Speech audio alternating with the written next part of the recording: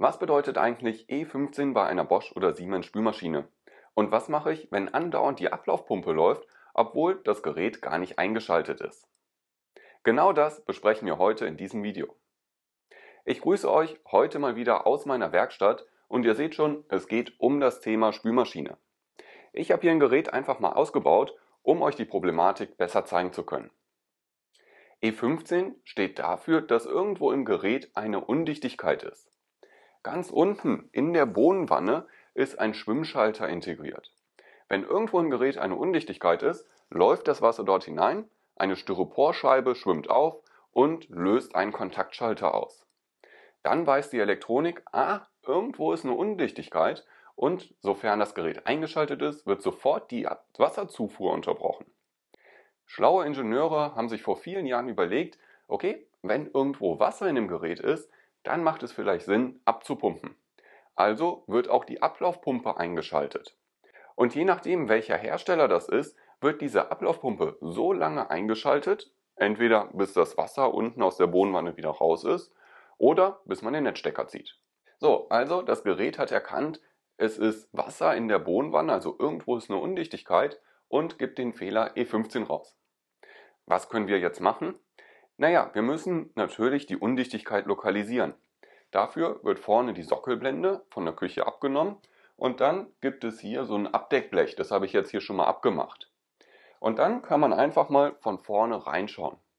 Natürlich sollte vorher der Netzstecker gezogen werden, denn ihr seht schon, hier sind ganz viele Leitungen und stromführende Elemente, nicht, dass man hier noch ein Gewisch bekommt.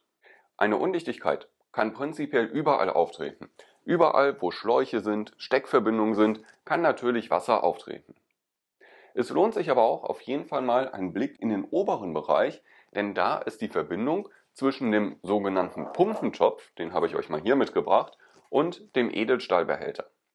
Der Edelstahlbehälter ist das, was wir von innen sehen und hier am Pumpentopf, das ist der tiefste Punkt von dem Gerät, hier sind auch die ganzen Bauteile dran, hier etwa die Heizpumpe und die Ablaufpumpe. Und ihr seht, dort ist eine Dichtung eingelassen. Also diese Dichtung verbindet den Pumpentopf mit dem Edelstahlbehälter. Und ab und an kann es vorkommen, dass diese Dichtung hier undicht wird und dann tritt hier Wasser raus.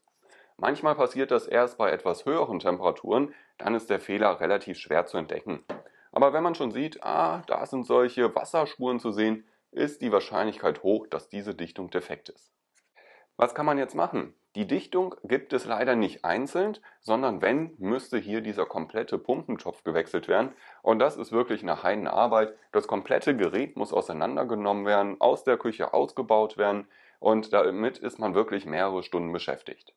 Seit einiger Zeit gibt es einen Reparatursatz und der besteht im Wesentlichen aus solch einer Dichtung. Diese Dichtung wird einfach zusätzlich zu der bereits vorhandenen Dichtung hier in den Pumpentopf hineingegeben und dichtet damit wieder ab. Das sieht jetzt hier relativ einfach aus. Das Problem ist, hier drüber sitzt noch der Edelstahlbehälter. Es erfordert wirklich viel Geschick, diese Dichtung in den Pumpentopf einzusetzen. Der Vorteil ist, man braucht das Gerät dafür nicht auszubauen. Ihr wisst, Reparaturen an Elektrogroßgeräten sind nur durch Elektrofachkräfte durchzuführen und nach der Reparatur ist auch eine Messung nach DIN VDE 0701 0702 durchzuführen, um sicherzustellen, dass keine Gefahr von dem Gerät ausgeht. Natürlich ist diese Dichtung nur eine Möglichkeit, wo der Geschirrspüler undicht sein kann. Welches Bauteil genau defekt ist, muss natürlich in jedem Fall einzeln entschieden werden und dann das entsprechende Bauteil getauscht werden. Fassen wir nochmal zusammen.